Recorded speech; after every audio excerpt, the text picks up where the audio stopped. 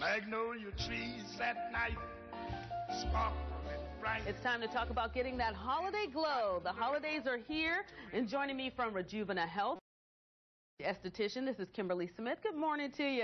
Good morning to you. Always nice to have you here on the show. You give us some great ideas and tips, and now this is the time of year when everybody wants to look good and feel good. Right. So let's talk about some of the basic things that we use every day that's in our cupboard that we can use to make our skin glow. Well, we can definitely do that. Mhm. We can definitely do that. I'm going to make a couple things for you today. Okay. Um, the first one is going to be to soak in, so that's going to be kind of fun. It's always nice to soak. It is nice to soak. We have way too much stress, so this is going to unstress people. So the first thing I'm going to make for you is going to be a bath soak, and then I have this is all part of my Christmas day spa type of thing. Mm-hmm. So I have a mask that goes with. We don't have time to do that, but I also have a toner today too. That's really easy Yeah. to make.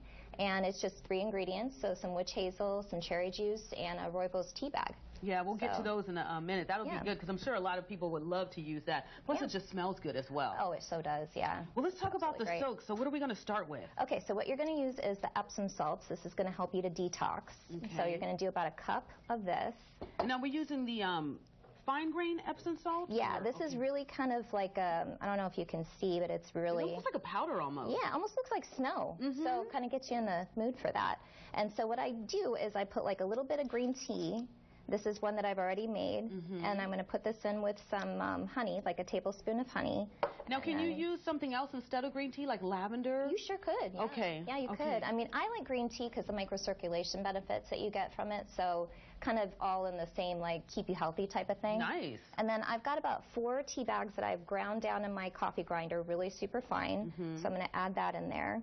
And then what I'm going to do is I'm going to take some of my stuff here. So, do you have to measure this out, or is it just play Yeah. it by ear the way it looks and feels? I have like um, this all measured out for about four tea bags worth of um, the dust. Mm-hmm. Okay. Mm-hmm. And I mix it in with the honey and a little bit of the green tea. And a little bit of that, and then I reincorporate it, all of this in here. So, you're just going to fold it all in?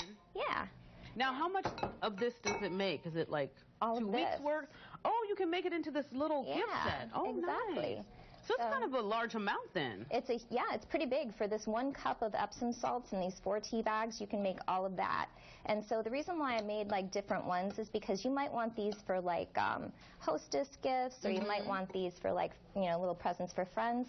And then what I do is I just kind of you know mix it really fine. You kind of have separate to it. Yeah, I kind of have to play with it a little bit, but eventually you end up with this really nice like what I have over there. So you can put them in these small little containers like this one. Uh-huh. You can just make it the way that you want to make it because it's your gift set that you're giving away. Exactly. Yeah. And how long does this last? I mean, does it stay on the shelf for a month or more? Or I've had these things last. People have told me that they've had them and, and forgotten that they had them for like a year and they were still really great. really? So, yeah. Well, that's nice. Yeah. Well, let's talk about the teas that you make. We got about a minute left. Okay. I'm going to get to these teas for All sure. right. So the tea is really easy to do too. So all you do is you just have like the cherry juice in there. Mm-hmm. You have um, the witch hazel, and then you also have um, the rooibos tea bag. So the cherry juice is going to be revitalizing because anything that has a pit in it is going to be revitalizing. So any fruit that's like that Mm-hmm. will do that.